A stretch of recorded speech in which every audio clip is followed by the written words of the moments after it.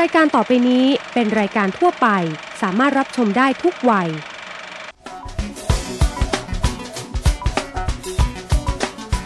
สถาน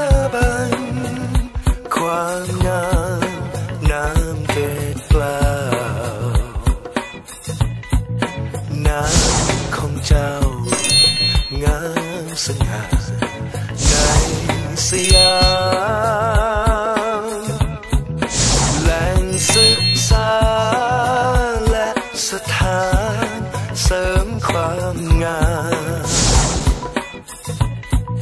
หนึ่งในสยาม ความรู้คู่แฟชั่น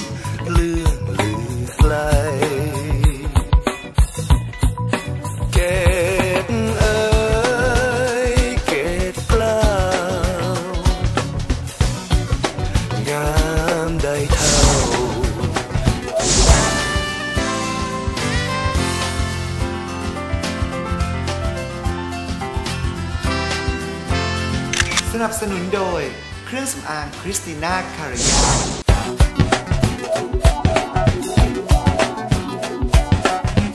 สวัสดีครับ ขอต้อนรับคุณผู้ชมเข้าสู่รายการความรู้คู่แฟชั่นครับ กับผมโก้ธีรศักดิ์พันธุจริยาครับ เรื่องราวความงามเกี่ยวกับเส้นผม เทรนด์ผม สีผม มีมาฝากกันอย่างแน่นอนครับ แต่วันนี้นะครับขออนุญาตพูดถึงเรื่องปัญหาผมดีกว่า ที่คุณผู้หญิงหรือว่าคุณผู้ชายหลาย ๆ คนนะครับแบบว่าปวดหัวนะครับปวดใจมากกับผมขาดครับ ไม่ว่าจะเป็นขาดด้านหน้าขาดด้านหลัง แต่เขาบอกว่ามีที่มาที่ไปนะครับแต่จะเป็นสาเหตุอะไรบ้างนั้นเนี่ยเดี๋ยวไปฟังอาจารย์กัลยากันดีกว่า ส่วนหนุ่มๆครับที่บอกว่าเอ๊ะ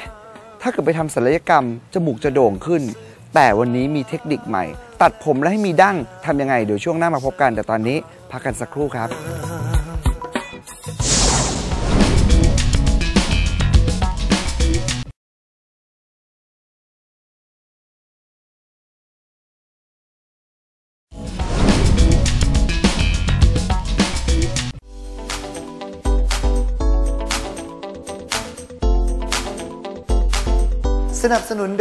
อินเตอร์เครา อาหารผมอุดมด้วยโปรตีนจากพฤกษานานาชนิด ผลิตเส้นผมให้แข็งแรงไม่หลุดร่วงเป็นเงางาม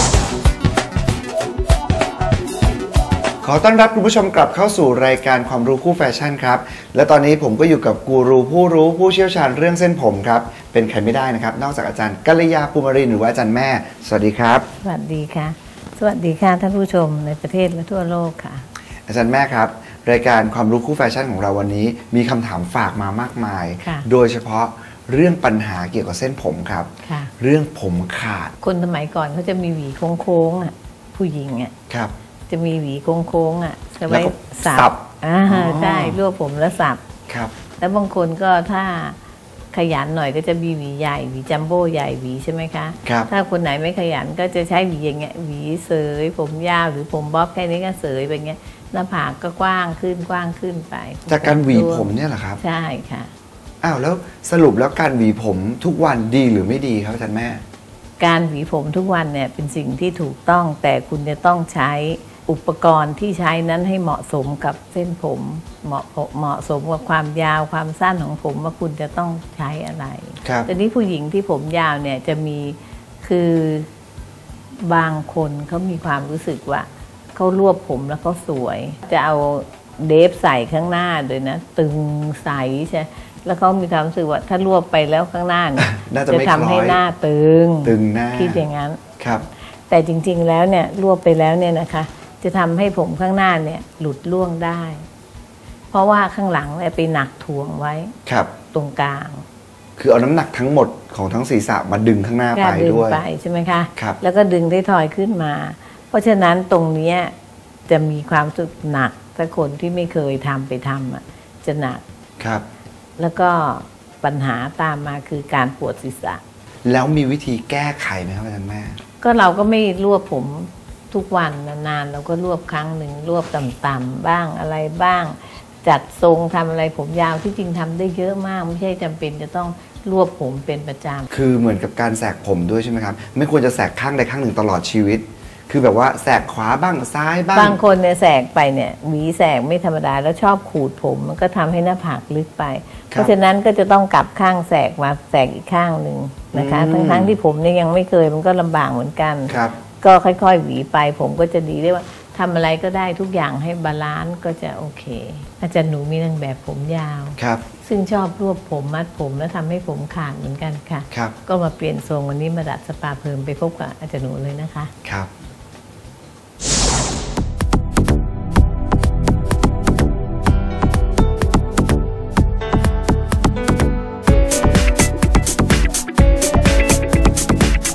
วัสดีค่ะ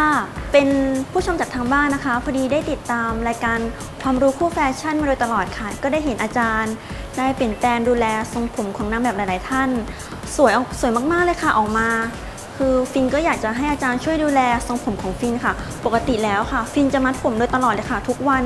เพราะว่าคิดว่าการทำผมดูแลเส้นผมเนี่ยมันเป็นสิ่งที่ยากมากเลยค่ะ อยากให้อาจารย์ช่วยดูแลค่ะ สวัสดีค่ะน้องฟินสวัสดีค่ะอาจารย์ที่นัดไว้ใช่ไหมคะ ใช่ค่ะโอ้โห มีปัญหาเยอะเลยใช่ไหมคะเนี่ย ใช่ค่ะ ฟินไม่รู้จะเริ่มต้นยังไงเลยค่ะ มันยากมากเลยค่ะตื่นเช้ามาฟินก็มัดผมง่ายสุดเลยค่ะ มัดเป็นประจำเลย ใช่ค่ะ อันนี้คือทุกทรงวันเลยที่ถนัดที่สุดแล้ว ใช่ค่ะ อืม มีปัญหาเรื่องปวดศีรษะบ้างไหมคะเนี่ย มีค่ะอาจารย์รู้ได้ไงคะ ก็คือเรามัดผมเป็นประจำแบบเนี้ยทำให้การไหลเวียนของเลือดที่ที่ศีรษะเราเนี่ยไม่ดีเท่าที่ควร มันก็จะทำให้เป็น โรคปวดหัวนะคะ อันนี้คือสาเหตุสาเหตุหนึ่งที่บางท่านเนี่ยไม่ทราบเลยนะคะ ว่าการมัดผมเนี่ยทำให้เราปวดหัวนะคะ เอาละเดี๋ยวเราจะขอดูที่เส้นผมกันนิดนึงนะคะเดี๋ยวเชิญน้องฟินนั่งเลยค่ะ ขออนุญาตแกะผมเลยนะคะค่ะข้อเสียของการที่รวบผมเป็นประจำเนี่ยคือเรารวบด้วยหนังยางแล้วเนี่ย เวลาเราดึงผมออกปุ๊บเนี่ยมันจะกระชากผมทำให้ผมเราเนี่ยขาดหนึ่งเรื่องแล้วนะคะ เรื่องที่สองเรามาดูกันสิว่าผมเป็นประจำมีปัญหาด้านหน้าไหมนี่เลย เห็นไหมฮะ ความที่มันลังอยู่เป็นประจำทำให้ตรงเนี้ยเป็นรอยเลยค่ะเนี่ยอืมโหวเลยเห็นไหมใช่แต่ค่ะถ้าหนูยังไว้อย่างนี้ตลอดไปเนี่ยเรื่อยๆเนี่ยถ้าไม่พบกันในวันเนี้ย ตรงนี้ไม่เหลือแล้วนะอืม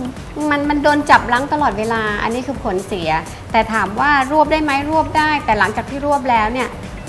นวดกระตุ้นอ๋อ กระตุ้นให้เลือดมันมาไหลเวียนนิดนึงนะคะค่ะถ้ามีความจำเป็นที่ต้องรวบ แต่วันนี้หลังจากนี้เราจะไม่มีความจำเป็นต้องรวบกันแล้ว เพราะเราจะออกแบบทรงผมที่สามารถที่จะปล่อยได้นะคะ แล้วก็แก้ไขปัญหาที่เป็นอยู่ จะเริ่มจากการทำสีผมที่สวยงาม การซอยผมที่ได้รูปนะคะ เพราะแอบเห็นว่าเป็นคนผมยักษ์โศก ใช่ค่ะตรงนี้หยิกนะคะ แล้วก็ผ่านการยืดมาแล้ว เราจะดัดกันใหม่ โอเคไหมได้คะ ค่ะ เป็นการดัดด้วยสปาเพิ่มทำให้ผมเราเนี่ยเปลี่ยนโครงสร้างของเส้นผมที่มัน ฟุ้งฟูหายไป ก่อนอื่นนะคะ เราจะพาน้องฟินเนี่ยไปสัดด้วยแชมพู Use Me First ก่อนค่ะน้องฟินคะหลังจากที่เราสระแชมพูล้างสาร เรียบร้อยมาแล้วจะเห็นผมที่ชัดเจนขึ้นเลยค่ะปลายผมแตกมากๆเลยนะคะ แตกเยอะเลยแล้วก็ช่วงบนนี่เป็นรอยหักรอยรั่วไปหมดเลยนะคะ อันนี้แหละสิคะเป็นปัญหาที่น้องฟินบอกว่าโอ้โหทำไมมันดูแลผมยากจังเลยเอาละเดี๋ยวขออนุญาตซอยเลยนะคะ แล้วการรีดผมเนี่ยมันมีปัญหากับเส้นผมไหมคะ ถ้าคุณใช้อุปกรณ์ที่ถูกต้อง ตัวรีดผมเนี่ยเป็นตัวที่มันเป็นเซรามิกแล้วก็ปกป้องเส้นผมของเรานะคะ ก็จะไม่เสียนะคะ แต่ถ้าตัวรีดผมเนี่ยเป็นตัวที่เป็นเหล็ก ไม่ได้ปกป้องความร้อนใด ๆ เลยเนี่ยมันก็จะทำให้ผมเราเนี่ยเสีย และสิ่งสำคัญคือก่อนรีดนะคะ ไม่ว่าจะอย่างไรก็ตาม จะต้องใส่ตัวปกป้องความร้อนด้วยนะคะ ก็คือพวกอาหารผม liquid pack ต่างๆนะคะ เพื่อที่จะ support ความร้อน เพื่อที่จะทำให้ผมเราเนี่ยไม่เสียเกตเอ้ยเกตกล้าไงบ้างคะน้องฟิน ก็เบาไปมากเลยค่ะ แต่ว่าคือตอนแรกฟินก็ตกใจว่าเอ้ยมันจะสั้นหรือเปล่าแต่มันก็ไม่สั้นไม่สั้นนะใช่โอเคหลังจากนี้แล้วเราจะเปลี่ยนสีผมกันละค่ะจะให้ตื่นเต้นไม่บอกหรอกว่าสีอะไรดีไหมค่ะสวยดังใจได้ดังปองเกตเอ้ยเกตกล้าลืมจะกล้านั่งเป็นค่ะหลังจากที่เปลี่ยนสีผมให้น้องฟินเรียบร้อยแล้วดูสีผิวเปลี่ยนไปเลยนะคะ เอาละค่ะหลังจากนี้แล้วนะคะ เราก็จะปรับโครงสร้างของเส้นผมของน้องฟินแล้วค่ะ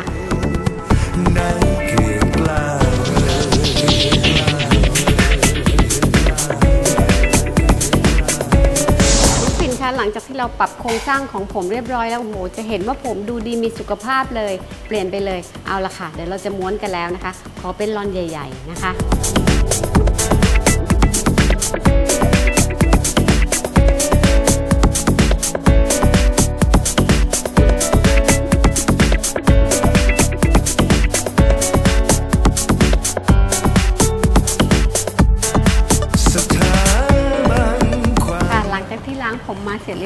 เข้าใจเลยว่าน้องฟินเนี่ยตื่นเต้นมากใช่เพราะเป็นค่ะการดัดผมครั้งแรกเลยใช่ใช่ไหมปกติคะทำแต่ rebonding ค่ะซับผมให้มันมา ตามด้วยอาหารผม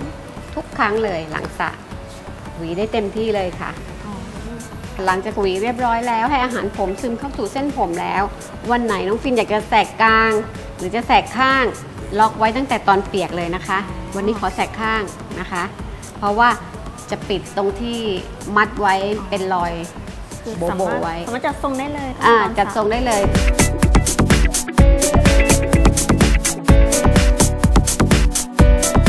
ชอบมากเลยค่ะชอบสีผม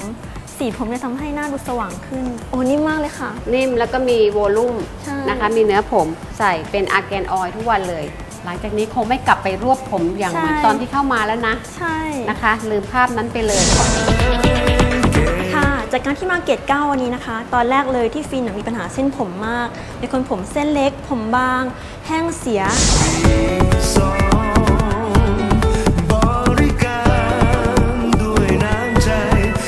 หลังจากที่ได้รับการแนะนำจากอาจารย์หนูเนี่ยดีมากๆเลยค่ะ ได้รับการแนะนำการบำรุง การดูแลเส้นผมทำให้ฟินอะดูดีขึ้นค่ะฟินเป็นคนละคนเลยค่ะ แต่ว่าตอนนี้ฟินสามารถปล่อยผมได้แล้วค่ะ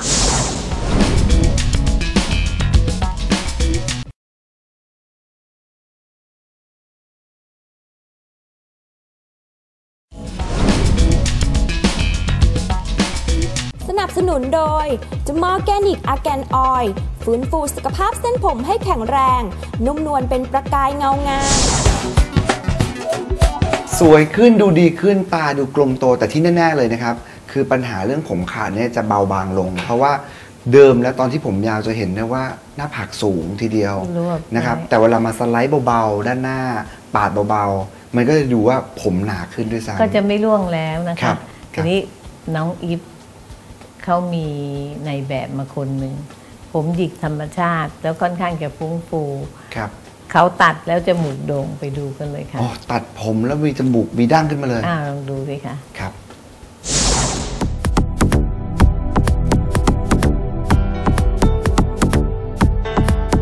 ผมเป็นผู้ชมจากทางบ้านครับ ชื่อวิศวนนท์ตั้งเรืองศิลป์ครับ ผมเคยดูรายการ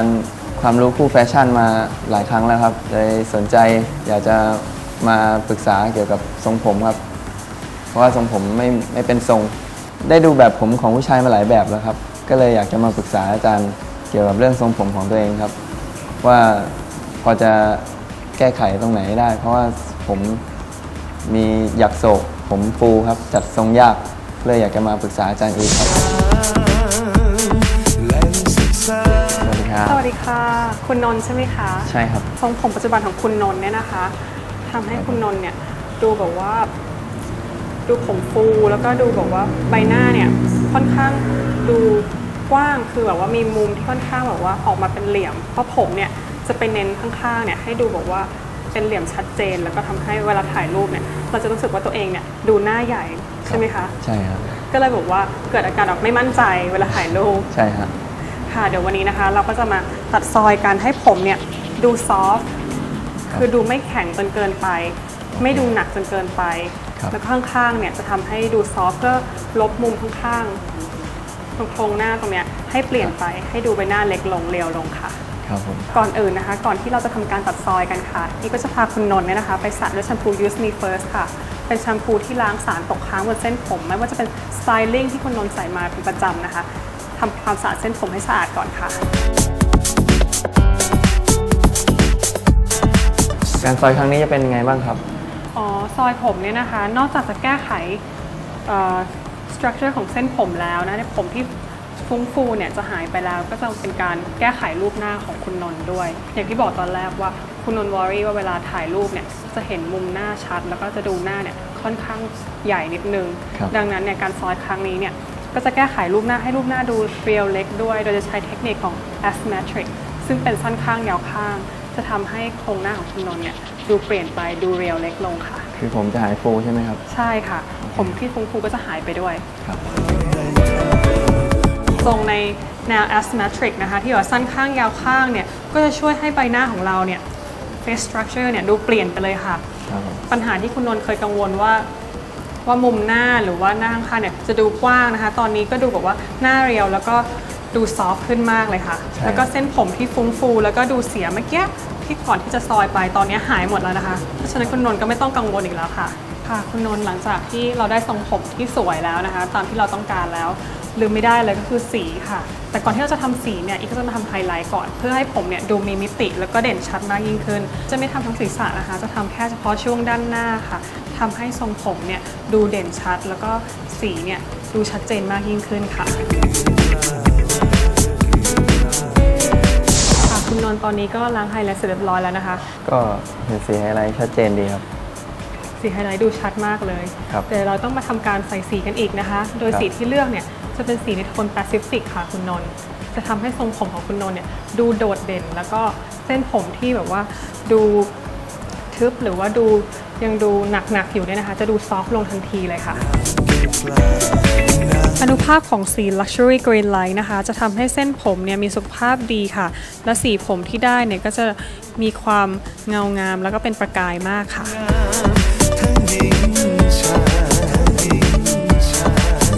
ค่ะคุณนนท์ตอนนี้นะคะทำสีเสร็จเรียบร้อยแล้ว คุณนนท์พอจะเห็นสีบ้างหรือยังก็พอเห็นสีน้ำตาลกับสีเทาครับผมใช่ถูกต้องแล้วค่ะ เนื่องจากสีเทา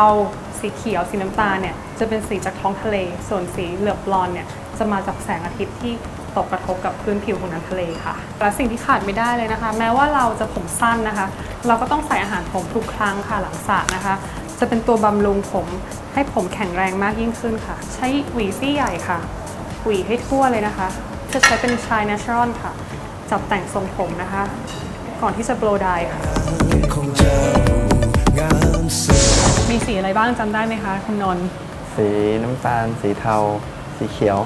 แล้วก็มีสีสีบลอนด์บลอนด์ด้วยค่ะ ครับ ใช่แต่ว่าเรียกว่าสีแปซิฟิกเนี่ยเป็นสีที่แบบว่าครบทุกแทบทุกทุกสีเลยนะคะแบบว่ามีหลากหลายสีมากมาอยู่ในโทนเดียวกันนะคะครับทรงผมในแนว Asian look นะคะในสไตล์ของ asymmetric ที่แบบว่าสั้นข้างยาวข้างค่ะจะทำให้ใบหน้าของคุณนนท์เนี่ยดูเปลี่ยนไปมากเลยค่ะ นี่นะคะเราจะทำการเซตผมโดยใช้ molding clay ค่ะ ผมเนี่ยนะคะสามารถไปทิศทางที่เราต้องการค่ะ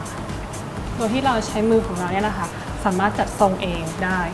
จากที่ได้ดูรายการความรู้คู่แฟชั่นมานะครับ จากที่ได้เห็นคนมาเปลี่ยนลุคหลาย ๆ คนนะครับ แล้ววันนี้ก็ได้มาเปลี่ยนครับในสยามนามฤบือแต่ตอนนี้ก็เปลี่ยนมาเป็นคนละคนเลยครับ ดูดีขึ้นมากเลยครับ การตัดผมวันนี้นะครับทำให้ผมมีความมั่นใจมากขึ้นครับ โอ้โห ต้องบอกว่าคนละเรื่องเลยครับใช่ไหมคะ อันนี้คือแบบโทษนะครับ คือนึกว่าทำสัญญกรรม คือแบบว่า before และ after อะคือจมูกมันดูมีมิติหน้าดูกลายเป็นแบบเป็นในแบบอะคือเปลี่ยนจากแบบเป็นแบบคนผู้ชายทั่วไป แล้วก็กลายเป็นในแบบได้เลย คือหน้าดูเด่นขึ้นมาเลยใช่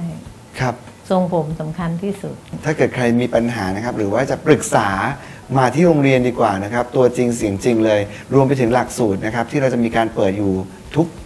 ทุกสัปดาห์ทุกเดือนต่อเนื่องอยู่แล้วมาลงค่ะชื่อไว้ได้ครับ ติดต่อยังไงครับอาจารย์แม่ครับ ค่ะที่พหลโยธิน 30ทับหนึ่งนะคะ 02 513 9749ถึง52 ค่ะ ครับและที่บริษัทแล้วก็ที่ครับ บริษัทนะคะ 02 939 6464ถึง5และ 02 939 6117ถึง8ค่ะ ครับ technician นะครับก็คอยจะให้คำแนะนำอยู่ค่ะ สำหรับที่บริษัทค่ะ ปัญหาทำสีไม่ติดดัดไม่ได้ค่ะโทรมาได้เลยกริ้งจะเป็น call center ถ้าลูกค้าต้องการดูทีวีปุ๊บต้องการเอาสีให้เหมือนในแบบนางแบบคนนี้เลยเนี่ยอยากได้สีของเทปวันที่เท่านี้เท่านี้ on air วันนี้ บางคนก็ ถ่ายเลยใช้โทรศัพท์ถ่ายเลย อ๋อ ต้องเอาอย่างนี้มา สมเป็นแลนด์มาร์คแห่งความงามนะครับ โรงเรียนเสริมสวยเกตเกล้าครับพหลโยธิน 30 ทับหนึ่งนะครับ โรงเรียนอยู่ทางด้านหลังนะครับ กับทางบริษัท ตึกด้านหน้าครับ อาจารย์หนูแล้วก็ทีมงานมืออาชีพครับ โทรเบอร์ไหนก็ได้นะครับ ที่ขึ้นหน้าจอนี้ติดต่อได้หมดทุกเรื่องราว แต่เบอร์ที่ผมจะพูดต่อไปนี้เป็นเบอร์ตึกด้านหน้าสำหรับบางคนถ้าเกิดจะมาจองตัดตัดผมอาจารย์หนูเนี่ยแล้วต้องการจองคิวไว้ก่อนนะครับที่ 02 513 7711 02 513 7719 และ 02 513 1719 รายการของเรานะครับสามารถดูรายการย้อนหลังได้ที่ www.gate9.com ครับ วันนี้ผมโค้ชธีรศักดิ์และอาจารย์กัลยาต้องลาไปก่อน พบกันใหม่สัปดาห์หน้า สวัสดีครับ